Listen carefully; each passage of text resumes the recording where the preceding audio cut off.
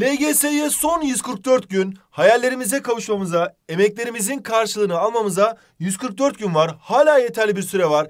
Eğer toparlanırsak, kendimize gelirsek, hatalarımızdan dersler çıkarıp üzerine gidersek gerçekten bu 144 günde çok yüksek bir net artışına ulaşabiliriz ve hayallerimizdeki güzel liselere, Fen Lisesi olur, Anadolu Lisesi olur, Sosyal Bilimler Lisesi olur hiç fark etmez. Hepsi bizleri bekliyor. Hepsi zaten bizler için var diyoruz ve başlıyoruz. Günün sözüne baktığımızda Randy Gage diyor ki Başarısızlıklar sadece anlık engellerdir.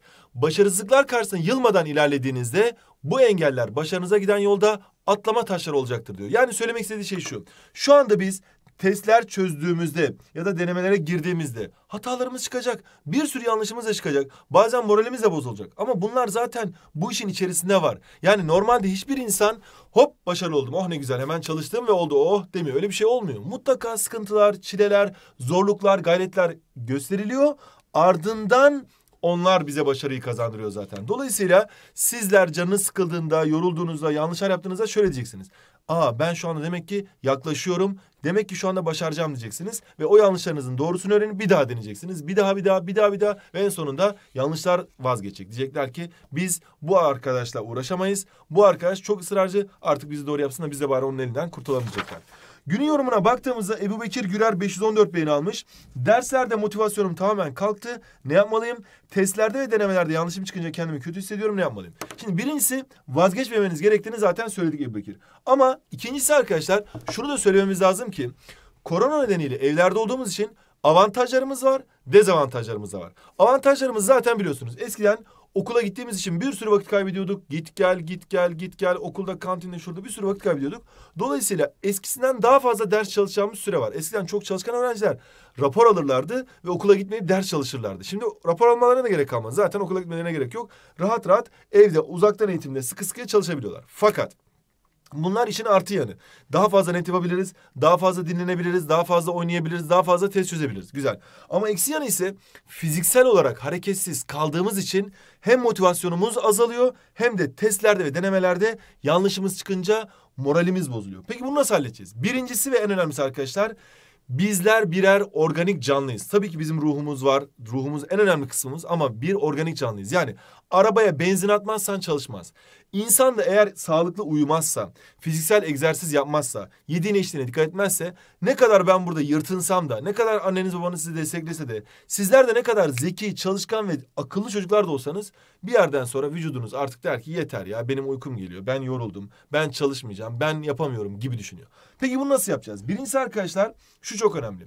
Dik durmalısınız. Dik durmak ne demek hocam? Yani bildiğiniz dik duracaksınız. Yani böyle eğilmiş böyle kaslar böyle kambur durmayacaksınız. Dik durduğunuz zaman vücudunuzdaki kan dengesi çok net bir şekilde değişiyor ve beyniniz daha fazla çalışmaya başlıyor. Dik dur. Bakın diklerin demiyorum. Dik duracaksınız. Yani diklenmek demek hadi lan falan böyle kavgacı gibi konuşmak demek. Öyle bir şey yok. Ben onu kastetmiyorum. Biz öyle insanlar değiliz.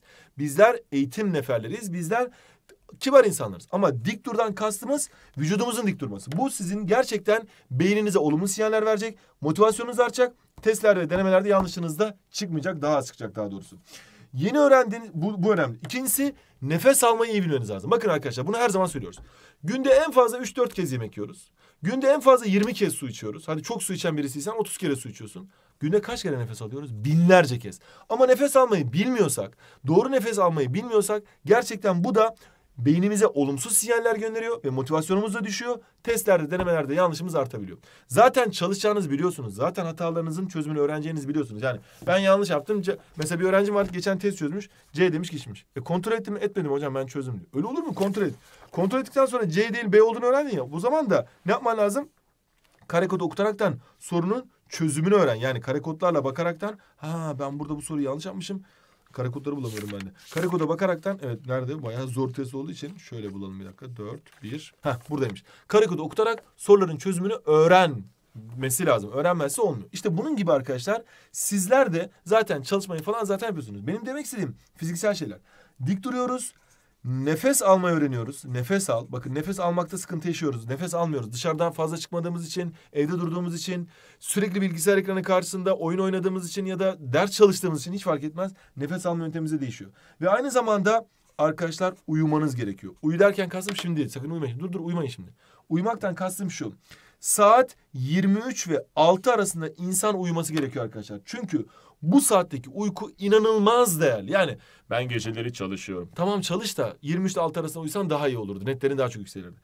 6'dan daha geç de uyanabilirsiniz. Ama 6'da uyanırsanız, 7'de uyanırsanız, 8'de uyanırsanız sizin için çok daha büyük avantaj.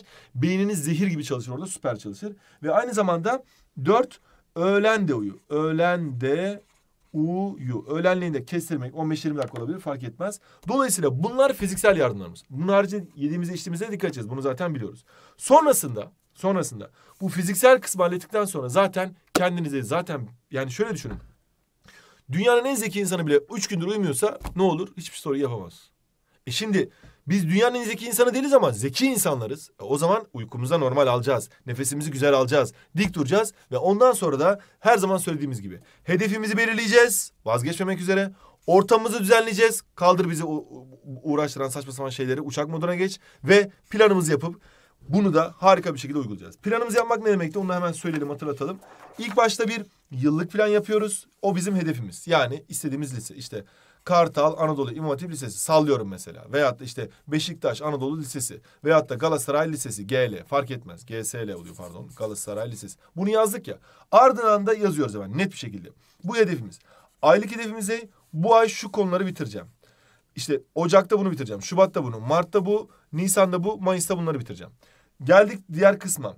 Ee, haftalık hedefimiz. Haftalık hedefimiz daha kolay yapması. Niye? Bu hafta ben Türkçeden 200 soru, matematikten 300 soru, fenden 500 soru gibi netler yazdınız. Sonra da geriye kalıyor günlüğünüz. Günlüğünüzde de yapmanız gerek. Bugün bunu yapacağım, bunu yapacağım, bunu yapacağım diyeceksiniz. Ve ardından da rahat rahat tık tık tık tık bunları ilerleyeceksiniz. Ve yine her zaman söylediğimiz gibi duvarınıza öğrenmeniz gerekenleri adeta bir kopya gibi asmanız her zaman sizin işinize yarar. Hani sınava girince kopya çekmenize gerek kalmıyor ya. LGS'ye girdiğinizde de bu duvarlarınıza astığınız bilgileri bir daha görmenize gerek kalmaz. Hemen günün kaynağına geçiyorum. Zor ve ötesi matematik soru bankası. Gerçekten zorlayıcı sorular var. Eğer durumunuz süper değilse bu kitap biraz size zor gelebilir. Ama ben iyi yapıyorum, daha da iyisini yapmak istiyorum diyorsanız mutlaka bu kitabı da alın arkadaşlar. Beceri temelli yeni soruların ağırlıkta olduğu. Gerçekten bir yanlış full yapanın deha, bir yanlışın süper zeka, iki yanlışın efsane, üç yanlışın başarılı, dört yanlışın akıllı, beş yanlışın çalışkan olduğu bir kitap. Yani o kadar zorlayıcı bir kitap.